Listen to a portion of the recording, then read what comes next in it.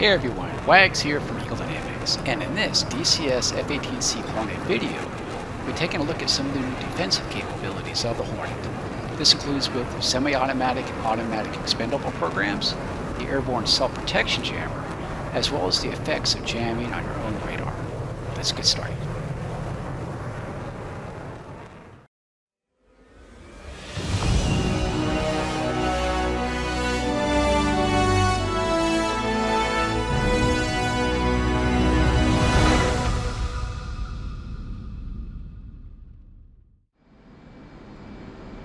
Alright, so uh, first let's take a look at expendable countermeasures, and this includes the addition of both the semi-automatic mode and the automatic mode. Coming down, let's get rid of the stick so we can see the countermeasure panel, and we want to make sure that the dispenser switch is in the on position, not bypass and not off.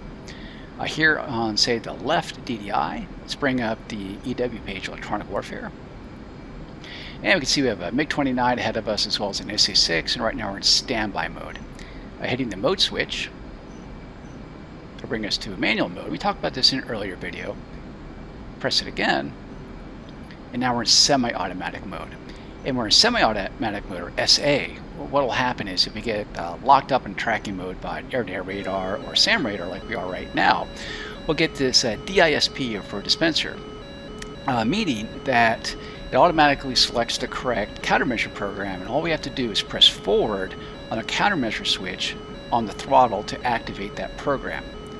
You bring it out, so press forward, and you can see it's already starting to uh, dispense chaff out there against that SA6. Come out of it, let's go to mode. Now we're in auto, and even without having to press the countermeasure switch, it'll automatically uh, start that program.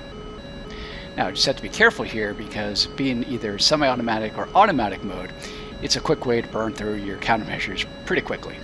So let's take a look at the next item.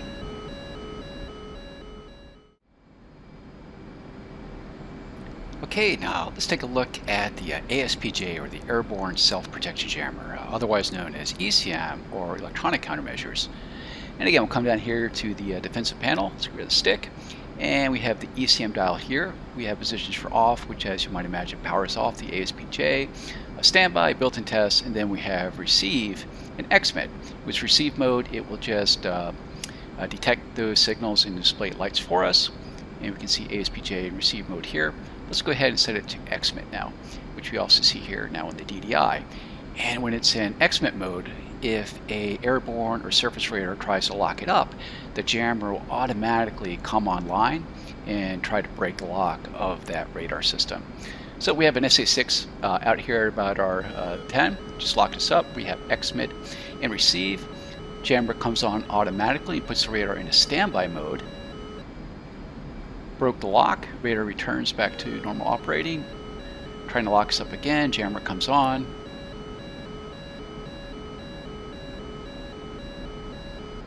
And breaks the lock.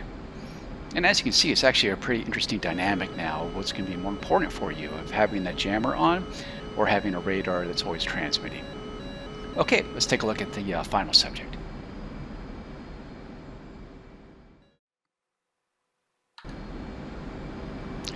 Now let's take a look at the final element, and that's the effect of uh, ECM jamming on our own radar. So here on the uh, right DDI we have the radar display, and we have a jamming target up here in the dugout, uh, also called the AOT zone or uh, angle on track. And the A in the middle indicates that's an AOT uh, track only. A J to the left indicates the jammer, and the F to the right that the FLIR uh, has a line of sight to it. Let's go ahead and make that our LNS, indicated by the star. And one more time, we'll make this an STT or single target track. And we also down here at the bottom, we see a radar AOT track. On the FLIR side, because we have a line of sight to it, you can see that the FLIR is tracking it. Up on the HUD we have a range of 99.9 because there's no range data, only an angle data. And we also see the indicator down here on the SA display. So at this point now, we're waiting for our range to close, so the radar gets more valid data back than false data from the ECM jammer, so we can start getting some good range data and lock this guy up. This should only take a second. Oh, there it goes. So now we've actually burned through that jamming. We have a good track on him now. So folks, I very much hope you enjoyed this uh, video on the upcoming defensive systems, and I will see you next time. Thanks.